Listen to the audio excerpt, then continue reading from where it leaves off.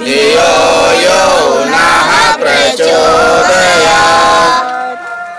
छतरपुर मध्य प्रदेश से आए हुए हैं और कार्यक्रम तो विशाल है, कार्यक्रम में बहुत अच्छा लग रहा है और ये बहुत विस्तृत कार्यक्रम है और छतरपुर में भी गायत्री शक्तिपीठ के माध्यम से बाल संस्कारशाला का कार्यक्रम होता है।